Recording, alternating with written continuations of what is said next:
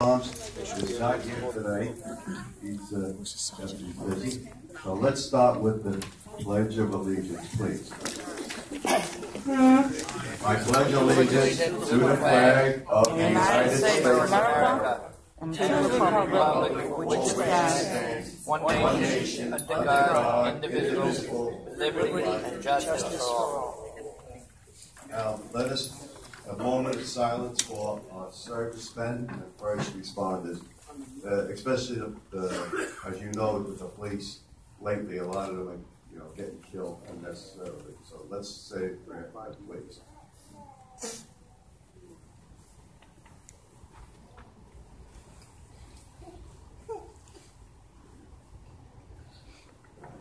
Okay, thank you. Have your seat, please. Now turning this meeting over to Mr. Warnicki. Oh, oh, by the way, before I forget, I forget a little absent-minded lately. Jeremy Warnicki was honored by the uh, Bronx Chamber of Commerce Veterans Association. He received an award there yesterday. Okay. I I had to get that out. I think I would, you know, forget, you know, my senior moments, they come a lot lately. Okay. All right, and now I will turn this meeting over to Jeremy. to everybody. I know. Thank you, Tony.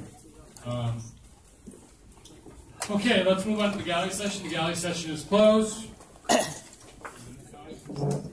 So,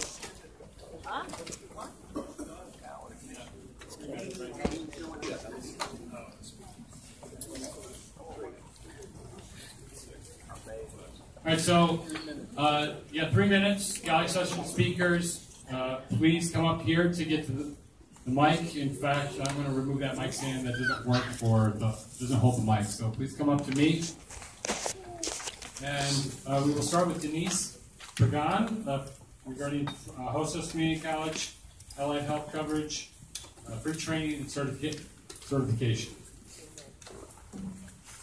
I'm going to pick up this uh, 30 second sign when you have the 30 second mark, and then at three minutes, that's it. Good evening, everyone. My name is Denise Pagan. I am from Hostos Community College. And we are, we have a new program called the Allied Health Career Pipeline Program. We are part of the Division of Continuing Education. Our program offers a free training and certification. We also help the participants um, and the candidates for this training to get a job. Our program is funded by the um, Affordable Care Act and is part of a national study. And I am here to inform everyone to please share with the community, family, and friends that we have a grant to help those interested in developing a career in the evolving field of healthcare. And the different trainings that we are offering right now is certified nursing assistant, which is CNA, clinical medical assistant, CMA, community health workers, they refer to it as CHW, contextualized high school equivalency, and the health information technician, home health aide, patient care technician. We're having a class that's starting November 28th for the home health aide. For home health aides, the, the, students do not need to have a high school diploma. And this is for anybody 18 and over. Partic- the people that qualify for this training, they have to go through an inquiry, um, inquiry requirement. They could call the number, the flyers right on the table, has a number there. Any questions, feel free to call the number. They will go over all the details on the program. And this is a great, great time to people looking to better themselves, those especially that are in public assistance or low income or in any way disadvantaged financially, to take advantage of this course and enter the field that is evolving and has a promising future for a lot of the people that are interested in the health and medical uh, career. Thank you. Any questions? Yes? Uh, questions from the board members? Oh, well, I'm sorry. No? All right. Thank you very much. Marcy Gross regarding Monty nurses and E EMTA. Um, it, it'd be better, I mean, I know some board members prefer that you're up there, if we could just stay with that tradition, that would be great. Where am I getting the mic? Yeah, from here, sorry. The mic stand does not hold the mic.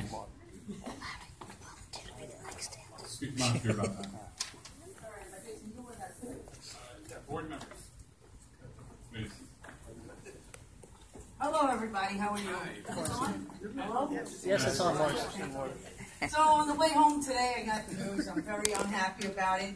Um, MTA is uh, going to, um, they're planning on definite uh, fare hikes for 2017. So um, within the next few weeks, you're going to um, have public hearings. If anybody's interested in the public hearings, I did not go to the website yet for MTA. Please go to the website, document your dissatisfaction if you use the trains or buses. Do it. Unify, do what you have to do, keep the prices down. They still smell, they're overcrowded, so whatever it is, do what you have to do, stick together. They're late. community.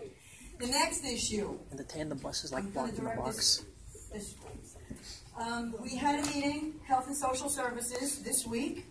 Um, and we're, uh, we had a couple of interesting issues, we'll deal with the, the minutes later. But, um, we are planning to have a meeting in December with Al's help, you can get us together, please, with, um, one of the representatives from ICU, um, uh, Monty. Monty is having its usual issues with overcrowding and beds in the hallway, and it's time for us to really start supporting what we have to do, take a stand on that. So, um, Al, uh, I spoke to this Misha Gauss this week, I spoke to him yesterday. Uh, hopefully we can also get an eleven ninety-nine representative to the table. Also, it affects the nursing home. Got eleven ninety nine right over there. I want that, yeah, yes, and so we really need to have this, I know Safyer doesn't wanna meet with us, but since he already came to Riverdale to heal home, now he's in my territory. So, They're probably gonna if he wants to shake hands over there, he's got to really come to terms with us. Um, if you can get Jeff Klein, I'd appreciate it also. That meeting will be held in December, uh, and I'll be there. Thank you, and if they don't want the press, then they have to really, um, work with us. All right, thank you. Okay, leave the microphone here. Our first meeting is gonna be with the representative of the elected officials so that we can set up a time for the elected officials to come together and then meet with, uh, hopefully the hospital. They'll, they'll have to get the hospital to come to the table, otherwise they won't. I have connections there too. All right. All right, thank you, Al. Thank you, everybody. Any, any other questions, statements? No? Okay. Thank you, Marcy. Um, Cece, is there a way to turn these lights on if need be? Yeah, Look a switch. thank you. Uh, Norma Lor- Lopez from Cruger and Mace Block Association, Bronx Park Community Association. Should I really come up here. up here with this uniform? Yeah. And they said, let there be you light. Where can I hide right now in this uniform? Good evening, everyone. My name is Norma Lopez, and um, I'm from Cruger Mace Block Association. And first of all, I want to say thank you to the community board, uh, with Chris also, uh, Veronica, um, and you know when we go and get the permission to have the block party. Not only do they, you know, give you the permission, but they guide you. They guide you, and these are the rules and regulations and so forth. And I think that that's important when we have these block parties that they're done properly. And we cannot do it properly if you know if that stops. So please continue to to help us, you know, do safe, effective, and you know successful block parties because they're very important. In the front desk, we have um, a picture of a portrait that was done by artists, sponsored by Allstate Farm right there on White Plains Road and Mace Avenue, so you can take it so you can see it. Um, here today, because of that, we want to spread that in the community. And um, I'm here, I'm supposed to be here with someone else, so I'm going to speak on his behalf. There's a um, bar lounge called Poppy Nice, and it's on Radcliff and Allerton Avenue. Now, I don't know him for many years, but what I want to do is I'm going to tell you what I learned about him. He came to my block party as a business owner. We go to the businesses in the neighborhood and they help us out with either food or something. And um, he pledged to give hot dogs and burgers. On the day of the block party, I met him again. He came with his wife and his child, and he was not able to bring the hot dogs and burgers, but he was so blown away by the Black party and all the activities that was going on with the children and the gifts, the book bags and the gifts that they got. They, actually, this year they got um, Nook tablets from Barnes and Noble as a gift. So every year we give them something that's educational and tangible for them to use with their education, but we also give out the book bags and so forth. And um, he was so blown away that on that day, he brought an ice cream truck. And he actually made me tear because he said, Norma, this is, I've never seen a block party like this. This is amazing. So he put the block party, he put the ice cream truck at the end of the block, and everybody ate free ice Only the cream. kids. Only the kids. So what I'm trying to say is that um, if, well, here he was so blown away. He says, "I want to do a block party." So I know he's going to come in front of this board and to the community board because I am guiding him to come there, and he wants to do the same for the children and the community. And that's what I'm talking about: developing the community and let this spread through our community. And I want to thank everyone involved. I have some volunteers. Please raise your hand if you volunteer. All these people hands-on volunteer. We have a great community, and thank you. By the way, we are also citizens of the Police Academy. And Grace. So, John, you had a question? Yeah, Brian. Thank you. And we will take hands-on when I come again next year. Thank you. Uh, Marjorie, uh, Guerrero, Montefiore, Nurses Association?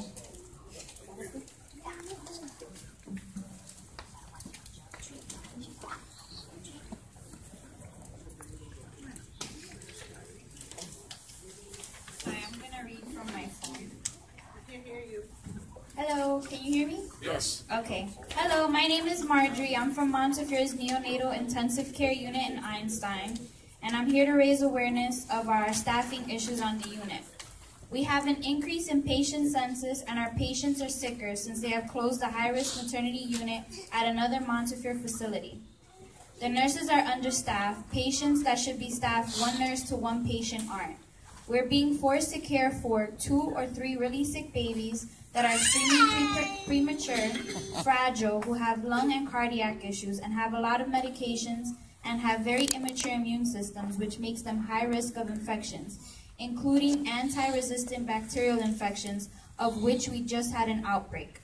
The nurses are also being pulled off the unit to go get sick babies from around the state, as far as Pennsylvania, Connecticut, Massachusetts, and New Jersey.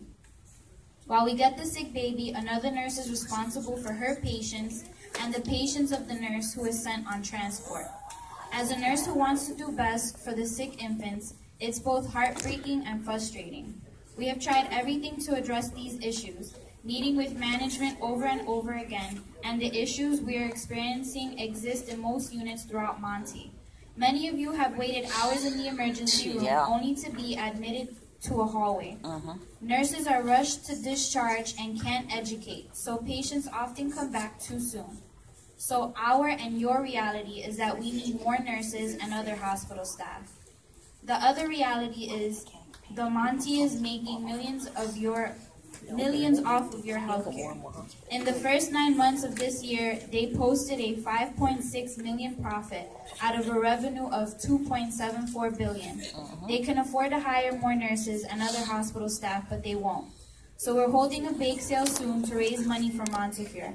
We'll have a bake sale with tables outside Weiler, and we invite this community to please show up, buy a baked good, and support our shared interest in improving the safety and quality of care in our community. We'll confirm the date with you soon. Please pick up a flyer on your way out. Thank you. The flyers are on the table over there. Questions? I understand that you have a, a lot of overtime, that the nurses do a lot of Oh, overtime, yes, we do. do a lot. uh, and that sometimes can be unsafe for the children because it's so. Yeah, we're tired, we're burnt out, and some of it is because of the overtime. She's young. Never tired. ways. I was never tired. Hi, how are we doing?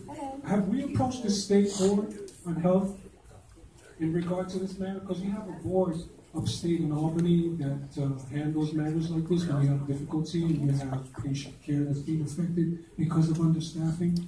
And we haven't gotten to the level right now where they give you a certain amount of nurses for patients like they do in California. But we're working on that, and what you need to do is you need to bring that to Albany. Yeah, we have. We've done, we've been lobbying in Albany. What we've been, sorry, I'm with the New York State Nurses. We've been lobbying for a couple of years to get a safe staffing bill passed in Albany. Uh, the New York Assembly has voted in favor of it. We hope that in the next cycle, the New York Senate will also support it, in which case we'll have a similar law to California. Yes, that's our goal. And Marjorie's been out there to lobby for, for that bill. Similar law to California. No, no, no.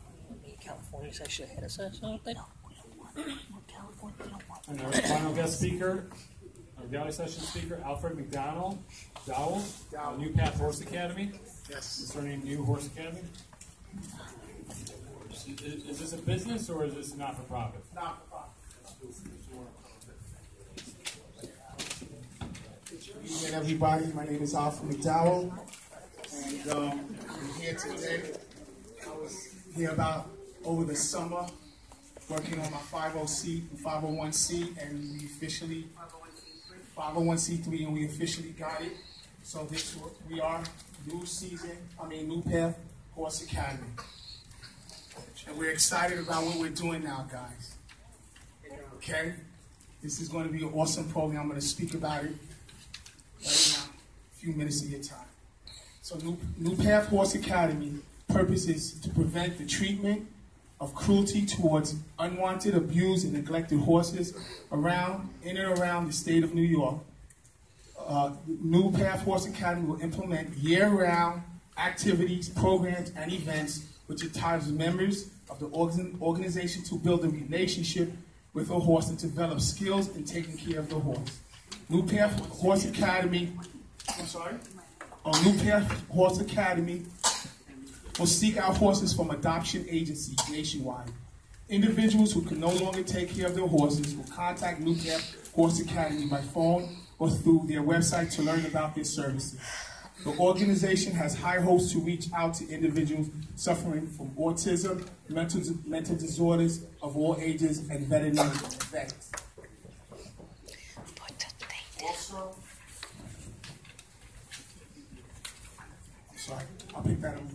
The organization also has plans to do multiple fundraisers throughout the year that are Western themed barbecues at the events. The organization's organization will have mini rodeos for small children, mechanical bull rides for entertainment, as well as hay rides and petting opportunities for the general public, not only members. So we're here today just